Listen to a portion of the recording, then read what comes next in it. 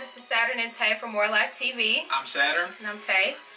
And today we're just going to talk about a few key tips to a successful relationship. Let's get started. All right, so the first thing that's a must have in any relationship, not just with a spouse, but anything that you do, you always need to keep God first. Yeah. Always keep God first. He's a foundation.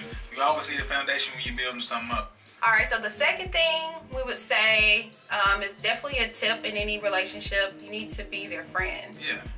Um, you need to care for them, respect them, and Be loyal. loyal.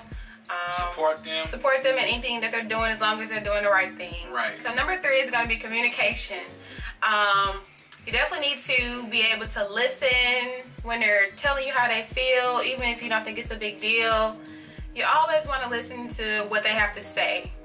Yeah. You know, Yeah. um, not just listening to hear. You need to listen and like take it all in. Like, okay, You so care for it and feel for it. yeah, you, You need know? to show them that you're there. Show them that you, you know, you're willing to understand their point of view. And even if you don't like something, don't be afraid to let them know. Like, so hey, say, hey, I'm not comfortable with blah blah blah. You know, or if I don't like chicken, you know, communication is key. you know, if you don't like bone chicken, you just need to say something about it. don't eat it just because he like bone chicken or she like bone chicken. You know, because you still got to be yourself at the end of the day. you still gotta be yourself. Number four, we definitely would say love, even though that's really important, but we're not really going in order. Right. guess so. This is just something that you need in a relationship in general. A deep caring, like you care for someone. And willing to go the extra mile for them, you know. Yeah. Really, you know, being there for them, making sure you're being there for them. It's and love is it's a happy feeling.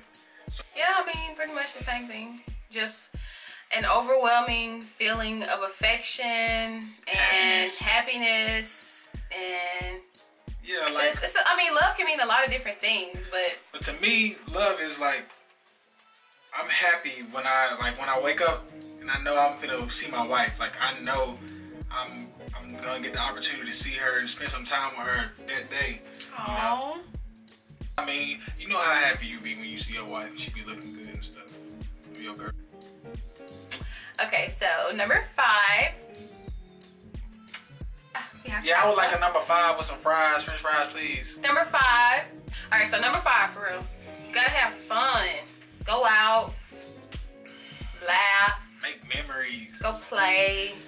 Do something together.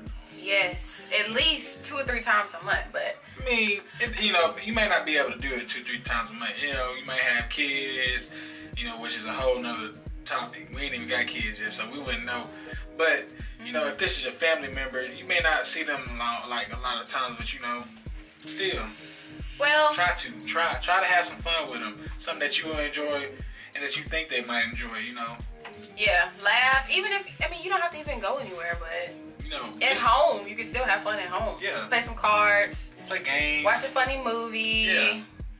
I mean, there's lots of could ways to have fun, have, but you, know. but having fun is definitely a um, something that you have to do. I mean, I don't want to walk around grumpy all day. I It mean, was life without fun and happiness, you know. Yeah. So okay, so number six. Yeah, num- yeah, number six. uh, you got. I mean, try your best to make it 50-50. Um, make sure that you know friendship or love or happiness or being, you know, uh, having a relationship ain't a one way road. You can you No. can't you can't do it by yourself. I mean, then it ain't because if you do, it ain't for real. You know, so. 50-50 be get involved make sure they get involved with you you know. Yeah, do your best to make an effort to hang out with them, talk to them, bond with them, you know. and that they're doing the same to you. Yeah. you So know golden rule. Do the golden rule. Doing others. As you have them, what? As you would have them do unto you. is that right? Do unto say others. just look. Do unto others as you would have them do unto you. That's the golden rule. whatever All right, guys. So that's the end of our video. We hope you enjoyed it. yeah man Um, please stay tuned to our next video. Don't forget to like, comment, and subscribe. yeah